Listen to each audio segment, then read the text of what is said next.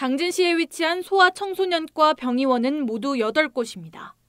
대부분은 토요일까지 문을 열지만 일요일이나 공휴일에 진료를 보는 곳은 극히 드뭅니다. 이마저도 오전에만 진료가 가능한 상황. 아이가 갑자기 아프면 응급실로 가야 하는데 당진에는 응급 의료 시스템을 갖춘 병원이 한 곳밖에 없습니다. 이런 소아 환자들의 의료 공백을 최소화하기 위해 당진시와 관내 소아과 의원이 손을 잡았습니다.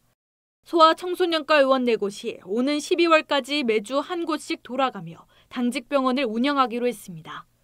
진료 시간은 일요일 오후 1시부터 6시까지입니다. 이제 당진 지역상 그 아동병원이 있는 상관 아니기 때문에 어, 저 일요일 진료가 지금 좀 공백 상태이긴 해요. 그래서 저희가 어, 연합의원을 시작하면서부터는 어, 주중에는 주중에 좀 돌아가면서 휴식을 취하고 어, 주말에 일요일 날 진료하는 것이 뭐 저희도 그렇고 어, 지역 또 소아 의료에도 도움이 되겠다 싶어서 충남에서 소아 청소년과 의원 당직 제도가 운영되는 건 당진이 처음입니다.